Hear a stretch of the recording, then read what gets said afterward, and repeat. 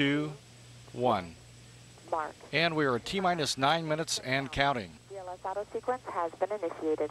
And the ground launch sequencer has been initiated. All countdown functions now are automatically controlled by the GLS computer located in the firing room integration console.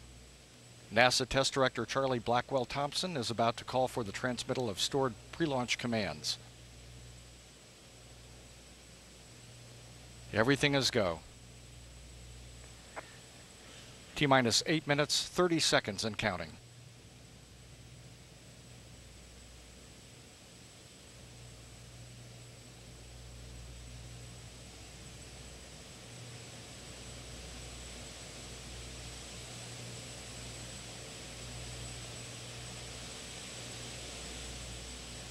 PLT OTC, connect essential buses to fuel cells per your checklist. PLT, that's in work. T minus 8 minutes and counting. Pilot Kevin Ford is now flipping switches in the cockpit to directly connect the three fuel cells to the essential power buses. OTC, PLT, essential buses all connected to the fuel cells. Copy. And that work is complete.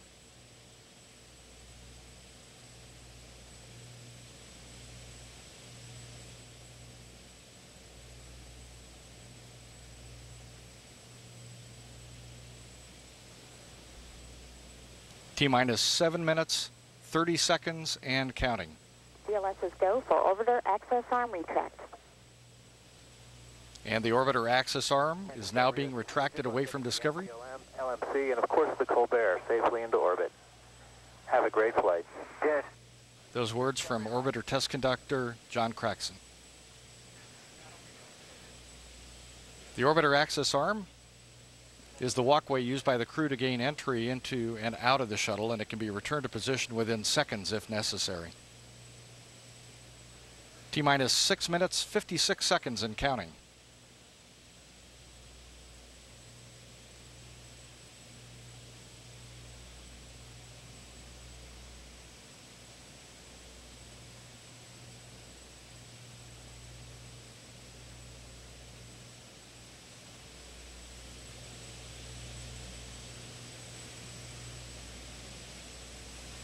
T minus 6 minutes, 30 seconds and counting. CRPS OTC start APU display recorders.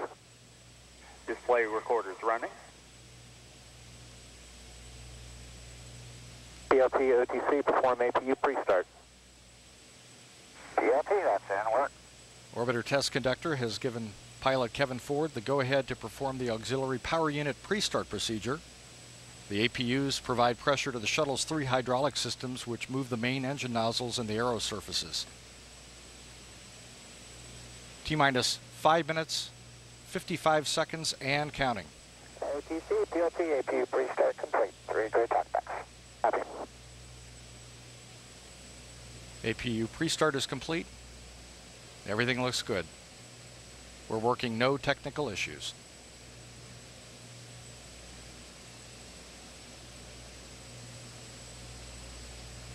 T minus 5 minutes, 30 seconds and counting.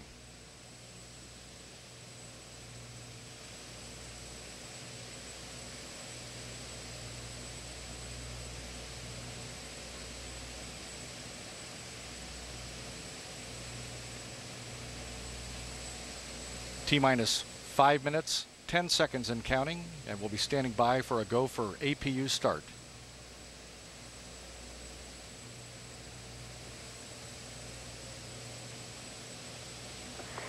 GLS is go for orbiter APU start. PLT OTC perform APU start. And CDR OTC. CDR OTC reconfigure heaters. T minus 4 minutes, 44 seconds and counting. Heater reconfig complete. Copy. The launch team has terminated liquid oxygen replenish to the external tank and in, is now initiating LOX drain back. T minus 4 minutes, 30 seconds. APU start complete. Three. Copy. Three good auxiliary power units reported by pilot Kevin Ford.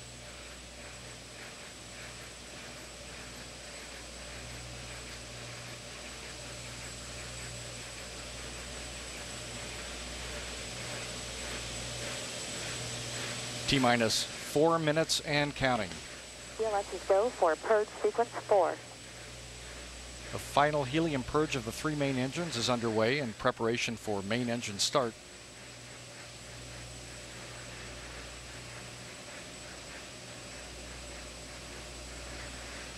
And a final test of the flight control surfaces is now being conducted. It's a pre-programmed pattern of movements designed to verify the readiness for launch of the flight control surfaces, the elevons, speed brakes, and rudder. T minus three minutes, 25 seconds and counting. Final aero surface checks are complete, and Discovery's three main engines will be gimbaled through a pre-programmed series of maneuvers as a final test before launch.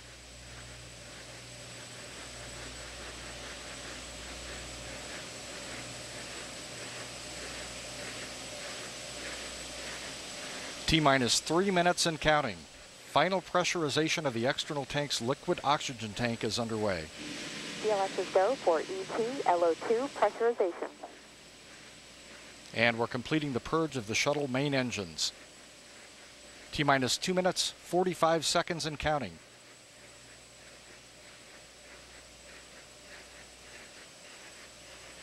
PLT, OTC, clear caution warning memory, verify no unexpected errors.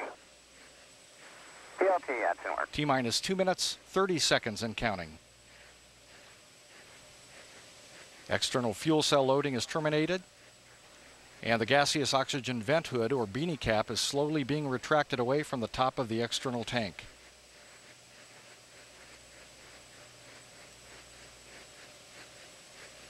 OTC, PLT, caution warning memory, clear, no unexpected errors. Copy and Discovery OTC, close and lock your visors, initiate O2 flow. T minus 2 minutes. Discovery, roger. GLS is go for ET LH2 pressurization.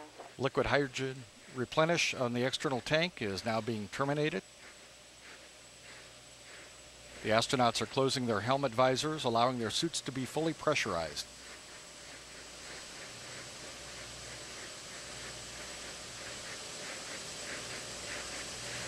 T minus one minute, 30 seconds, and counting. 30 seconds. All systems are go. We're about 90 seconds from the launch of Space Shuttle Discovery.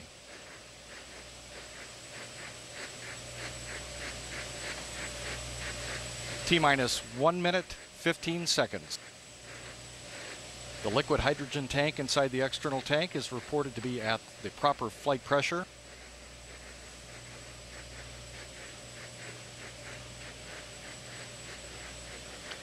T minus one minute and counting.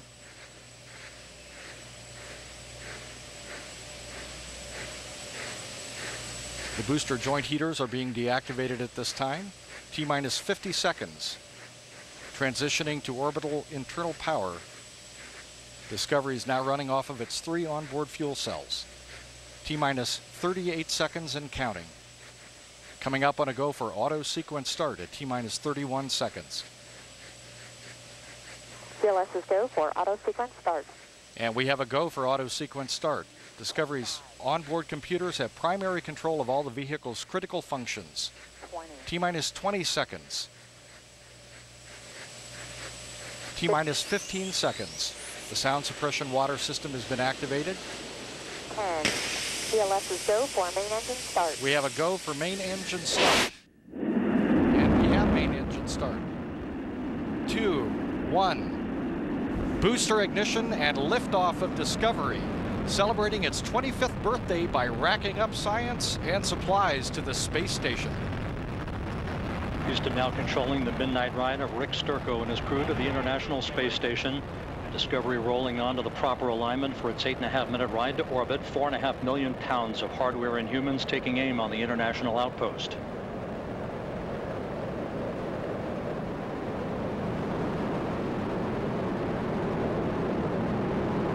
Thirty-two seconds into the flight. The three liquid fuel main engines soon will throttle back to 72% of rated performance down in the bucket, reducing the stress on the shuttle as it goes transonic. Discovery three and a half miles in altitude, four miles downrange from the Kennedy Space Center.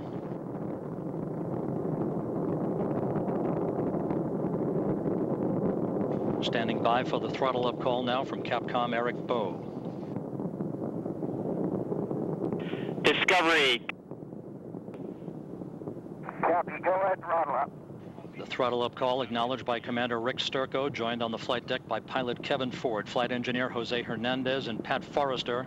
Seated down on the middeck are Danny Olivas, Christer Fuglesang of the European Space Agency, and Nicole Stott, hitching a ride for three months on the International Space Station. One minute, 30 seconds into the flight. All of Discovery systems performing normally, 17 miles in altitude, 18 miles downrange from the Kennedy Space Center.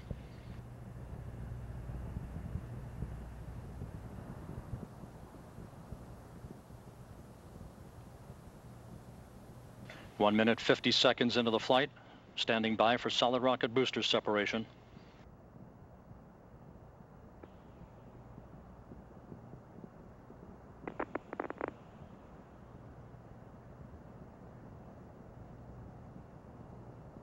Booster officer confirms staging a good solid rocket booster separation. Guidance now converging, the onboard computers steering the shuttle for its precise path to the International Space Station.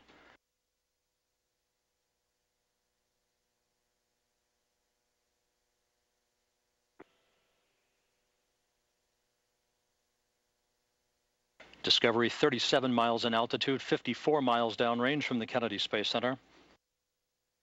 Three good main engines, three good auxiliary power units, three good fuel cells, Discovery, two engine Moron.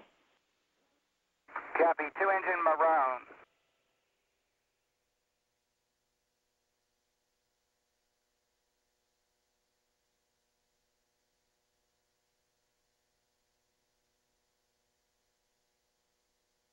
three minutes into the flight. Everything going very well for Discovery, 47 miles in altitude, 85 miles downrange.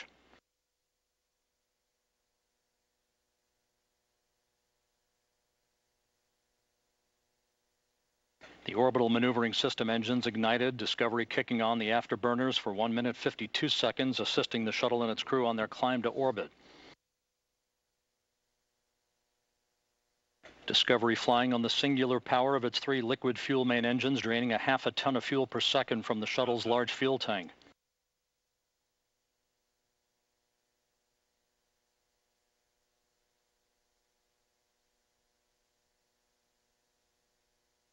Discovery coming up on the point of negative return where the shuttle will be too far downrange, too high in altitude to return to the launch site in the event of an engine failure. Discovery, negative return. Copy. Houston. Negative return. Discovery speeding straight as an arrow on its night flight toward a date with the International Space Station Sunday night.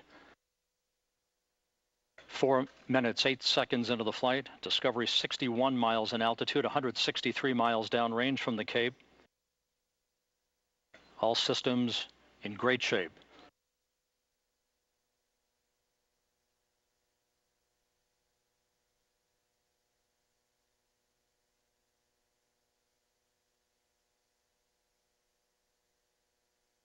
More than halfway toward its preliminary orbit, Discovery's engines, fuel cells, and auxiliary power units performing as advertised. Discovery now 212 miles downrange from the Kennedy Space Center. The Environmental Systems Officer reports the activation of a good flash evaporator system providing cooling for Discovery's avionics until the payload bay doors are open an hour and a half into the flight. Five minutes into the ascent toward orbit. This view from a camera on the external fuel tank.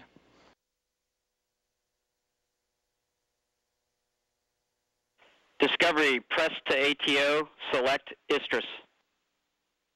Press JTO will select Istres. That call from Capcom Eric Boe indicating that Discovery can make minimal abort to orbit targets uh, in the event of an engine failure. However, all three main engines continue to perform perfectly.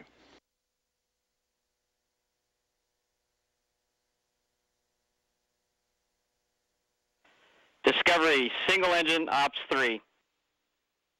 Copy. Single engine Ops 3. Discovery now 336 miles downrange from the Kennedy Space Center, coming up on the six minute mark into the flight.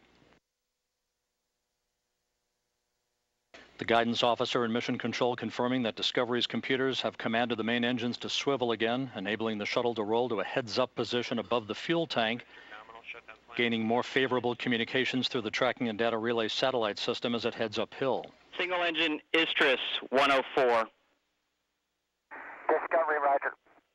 And Discovery, press to MECO. Roger, press to MECO. That call from Capcom Eric Boe indicating that Discovery can make normal main engine cutoff targets in the event of an engine failure. However, six and a half minutes into the flight, all three main engines performing normally. Discovery now 466 miles downrange from the Kennedy Space Center.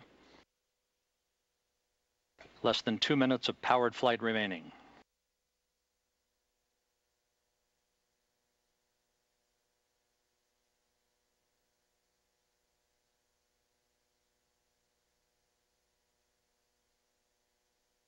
Discovery, single engine press 104, nominal shutdown plan. Go for the 20 second plus X, no go the pitch. Discovery, copy all. 20 second plus X, no go to pitch. The 20 second plus X referred to by Capcom Eric Boe is the maneuver that Commander Rick Sturckow will perform after uh, external tank separation, enabling umbilical well cameras to obtain flash photography of the fuel tank as it drifts away. Seven and a half minutes into the flight, the main engine's being throttled down to limit the stress on the shuttle and its seven crew members to that of three times the effect of gravity. Discovery currently traveling at a speed of more than four miles per second.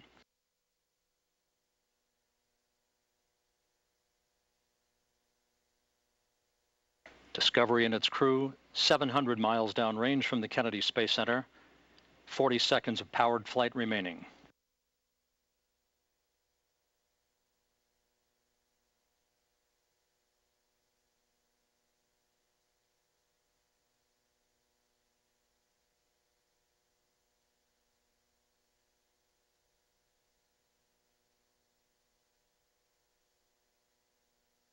Standing by now for main engine cutoff. That will be followed a few seconds later by the separation of the external fuel tank.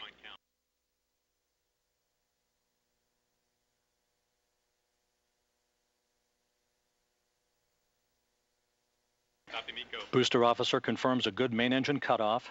Now standing by for external tank separation.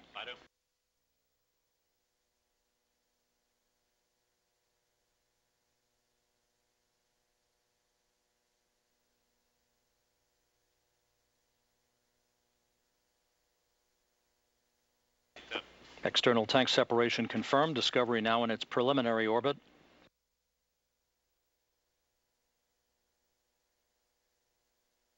You can see the flash photography as Discovery fades away from the camera view. Good maneuver being com commanded by uh, Rick Sturckow, maneuvering Discovery so that those cameras embedded in the umbilical well can perform that flash photography of the discarded external fuel tank. An uneventful ride to orbit for the shuttle Discovery, two days shy of its 25th anniversary of its maiden flight, beginning a 13-day mission. Nominal MECO OMS 1 is not required. Discovery, roger.